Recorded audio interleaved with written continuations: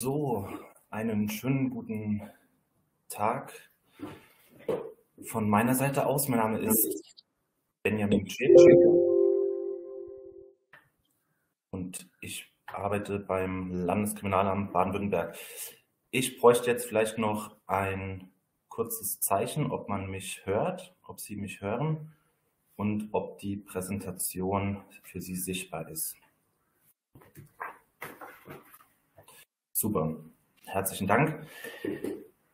Ja, ähm, zunächst ähm, möchte ich was Organisatorisches loswerden. Äh, wenn Sie Fragen haben, können Sie die sehr gerne ähm, an, ans Ende stellen. Sie können sehr gerne auch zwischendurch ähm, äh, Fragen schreiben, wenn, wenn Sie möchten. Ähm, wir werden dann nur am Ende in der Diskussionsrunde ab 12 Uhr ähm, beantworten. Genau. Ähm, oder Sie heben sich die Frage einfach auf und stellen die dann am Ende. Genau. So, ja. Dann ist mir noch wichtig zu sagen, vielen Dank, dass ich hier Gelegenheit habe und dass wir Gelegenheit haben, als ähm, Polizei Baden-Württemberg und Landeskriminalamt Baden-Württemberg hier einen kleinen ähm, ja, Impuls zu geben, einen Praxisimpuls. Ähm, das ist für uns in diesem, in diesem Gremium ähm, und bei diesem ja, Deutschen Präventionstag. Ähm, da fühlen wir uns geehrt und sind wir dankbar für. Genau, heute das Thema von uns ist gewaltig daneben, Clips zur Gewaltprävention. Ähm, wir haben da ein, eine Kampagne ähm, ins Leben gerufen, die ich Ihnen jetzt auf den folgenden Folien und in den folgenden 15 Minuten ungefähr ähm, vorstellen darf.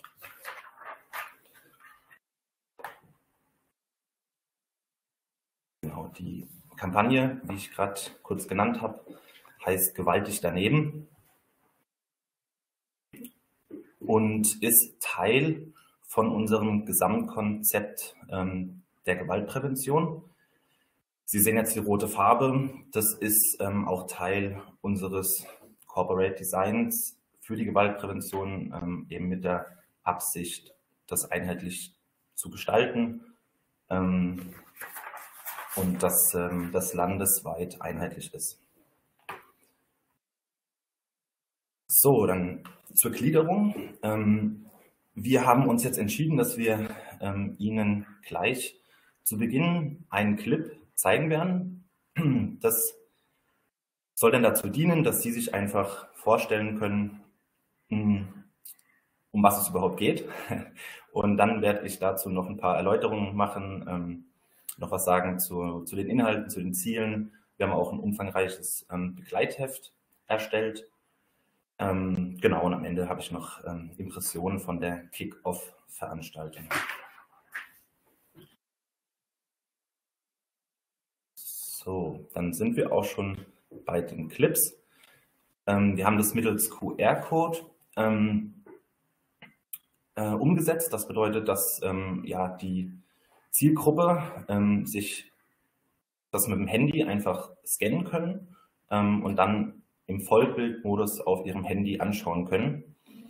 Ähm, genau, ich will jetzt gar nicht zu viel vorab sagen. Ähm, idealerweise schaut man das eben im Vollbildmodus hochkant auf dem Handy und dann sieht es so aus, als wenn man sozusagen im, in First Person ähm, dieses Handy bedient und die Nachrichten auch selbst erhält. Aber das können Sie sich gleich vorstellen, ähm, wenn ich Ihnen das Video zeige.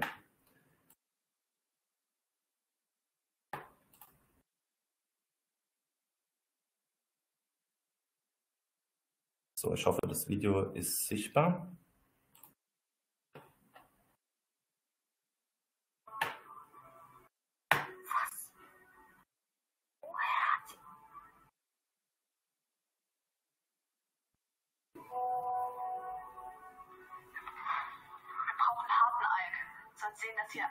Alle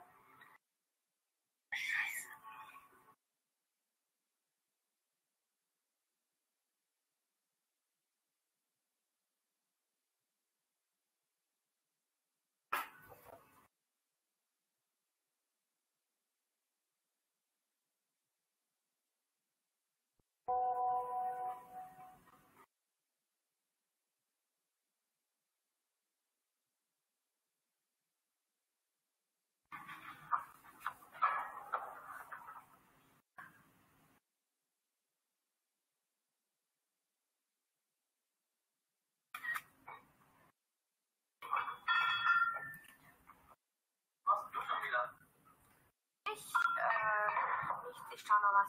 Weißt du, wann Mama und Papa noch ankommen? Ja, wir kommen später.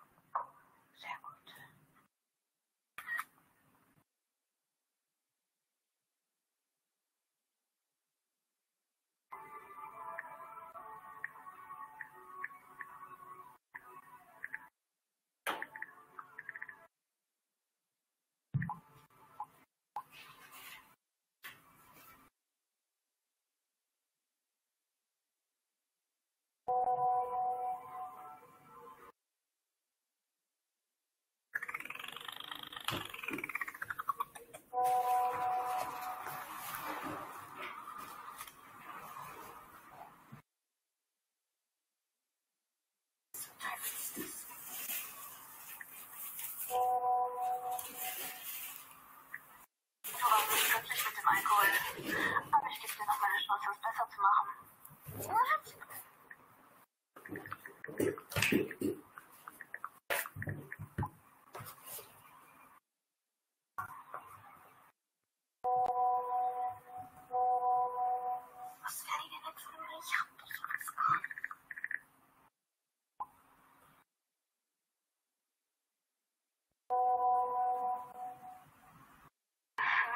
Eigentlich egal, wie du es besorgst.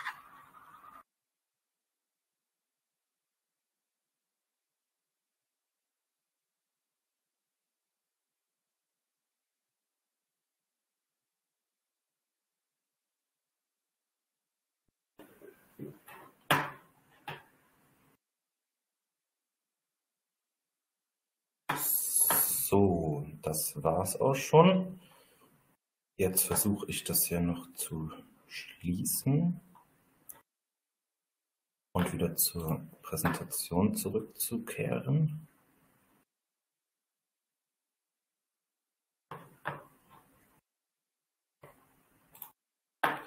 So. So, ich hoffe, das hat jetzt funktioniert.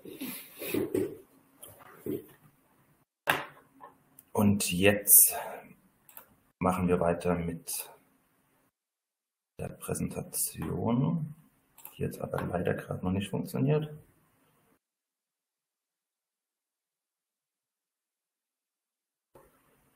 So, das tut mir leid, dass es jetzt eine kurze Verzögerung gibt. Hier wird das Video angezeigt, was ich jetzt noch schließen muss. Ähm,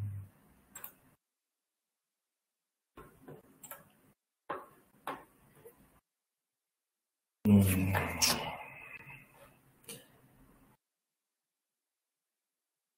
Das Video können Sie auf dem Pluszeichen schließen. Okay. Perfekt, super, herzlichen Dank. Genau, so, der eben ähm, angeschaute Clip ähm, behandelt das Thema Erpressung. Ähm, es gibt insgesamt sieben Kurzclips, die sind alle so zwischen zwei und drei Minuten lang. Ähm, das heißt, ähm, ja, nehmen zum einen nicht so viel Zeit in Anspruch, zum anderen ist es auch für die Jugendlichen dann, ähm, denke ich, äh, möglich, dann so lange die Aufmerksamkeit ähm, zu ähm, zu haben und konzentriert zu bleiben. Genau. Ähm, was auch sehr schön ist an diesem Produkt, also ich bin selbst auch tatsächlich begeistert davon, ist, dass diese ähm, Kampagne Gewaltig daneben mit diesen Videoclips ähm, sowohl online natürlich vorgestellt werden kann, ähm, so wie jetzt hier auf diesem Wege, aber eben auch als ähm, Präsenzveranstaltung nutzbar ist. Ähm, ich selbst durfte da mit einer Kollegin schon an der Schule sein, wo wir das dann vorgestellt haben, ähm, die Videos abgespielt haben. Also es geht sowohl online als auch in Präsenz. Genau. Ich werde gleich noch ähm, tiefer einsteigen, was ähm, Inhalte und Ziele sind und auch noch kurz zur Entstehung was sagen. Jetzt sind wir Genau, eine Folie weiter. Genau.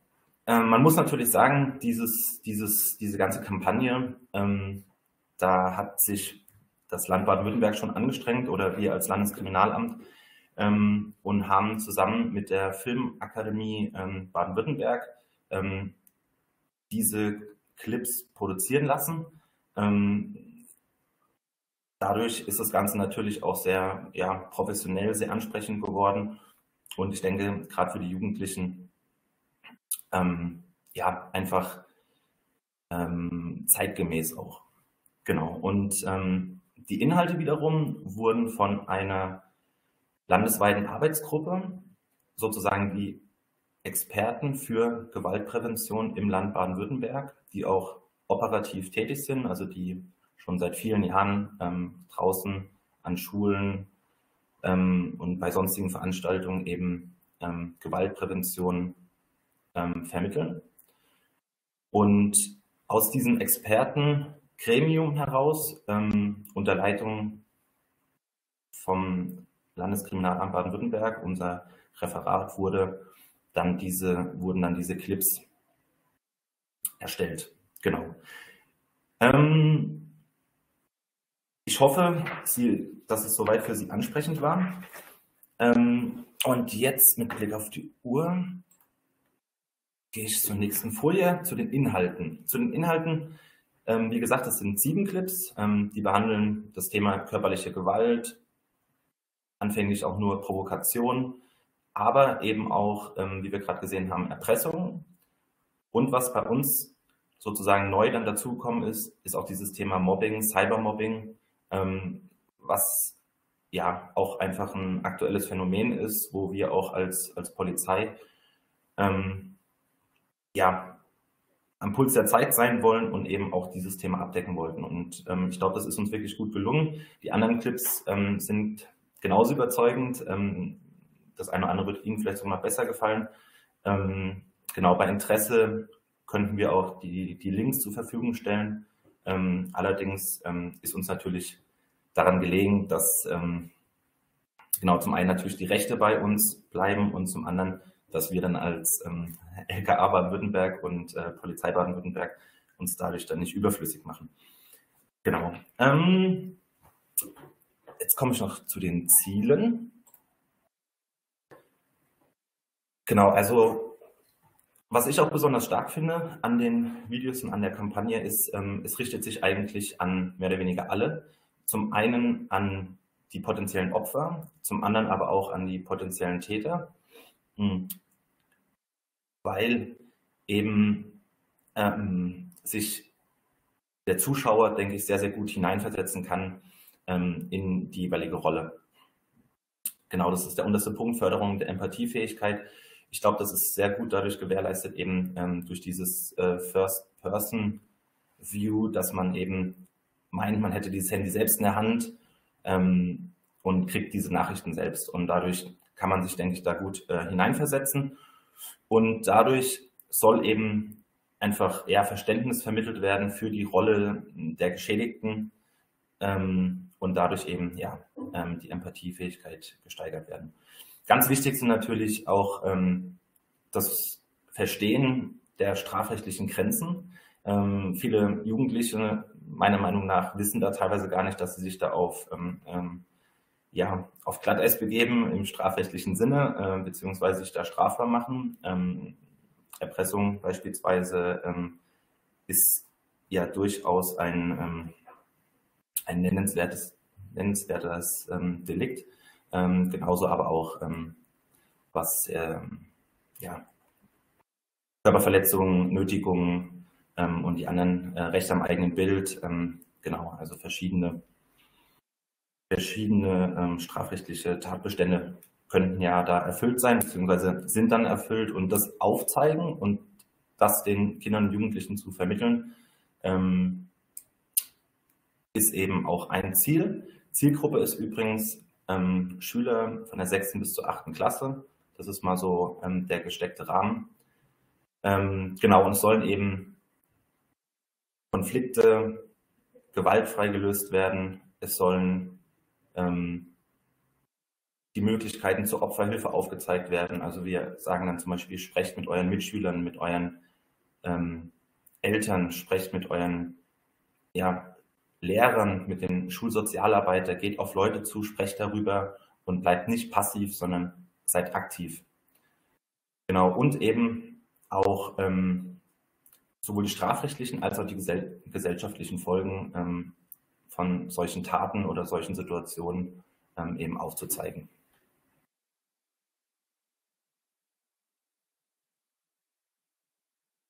Genau, es gibt noch ein ähm, Filmbegleitheft. Das ist auch sehr aufwendig und sehr umfassend ähm, und auch ähm, sehr übersichtlich erstellt worden. Ich hoffe, Sie sehen das jetzt. Ähm, ich weiß auch nicht, ob Sie es gut lesen können. Hier werden jetzt die einzelnen Clips einzeln behandelt und die verschiedenen Lernziele genannt. Und das Ganze ist so aufgebaut. Ich blätter jetzt nur mal kurz durch zum Clip, den wir gerade gesehen haben. Genau, Erpressung, das sind eigentlich sogar zwei Clips, aber aus Zeitgründen habe ich ihn jetzt nur eingezeigt. Genau, und dann sehen Sie jetzt hier, es gibt äh, ein Lernziel. Schülerinnen und Schüler wissen, was Nötigung und Erpressung ist und kennen die entsprechenden Rechtsvorschriften.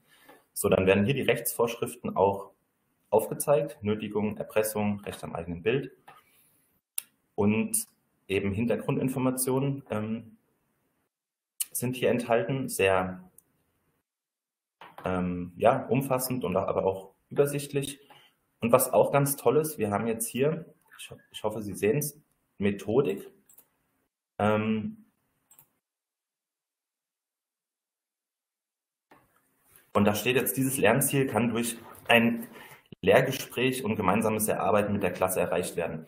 Genau, das war auch ganz wichtig bei dieser Kampagne, dass es eben kein Frontalunterricht dann wird, sondern dass man ins Gespräch kommt mit den Schülerinnen und Schülern, ähm, dass ähm, ja, es ein Dialog ist und dazu gibt es dann auch wieder passend Impulsfragen, wie zum Beispiel, wie ordnet ihr das Verhalten von Gülcan und Chiara ein? Ähm, also von den Protagonisten und dann fragt man die Schüler, ähm, äh, was ist eigentlich passiert? Dann kann man fragen, ja, ähm, wie seht ihr das? Wie hätte man sich vielleicht verhalten können? Ähm, genau. Ähm, mir war einfach nur wichtig auch, dass die Schüler das soweit begreifen und da muss ich sagen, war ich sehr, sehr positiv überrascht, äh, wie gut sie die Inhalte aufgenommen haben und ähm, ja, einfach wie rege die ganze Teilnahme war, ähm, das, der Dialog. Ähm, also es war wirklich ganz, ganz toll, den Vortrag oder die Kampagne da schon mal in der Schule kurz vorzustellen. So, aus Zeitgründen werde ich jetzt äh, mich noch etwas sputen für die letzte Folie. Ich hoffe, das funktioniert jetzt auch gleich wieder. So. Es gab noch eine Kick-Off-Veranstaltung. Und bei dieser Kick-Off-Veranstaltung,